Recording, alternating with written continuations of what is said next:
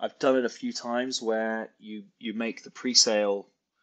you put quite a lot of tickets in the pre-sale, and then when the show goes on general sale, you don't have very many tickets left to sell, and so you can sell the whole tour out, you know, in 10 minutes or whatever. Um, so you can use that to sort of drive that that hot ticket narrative.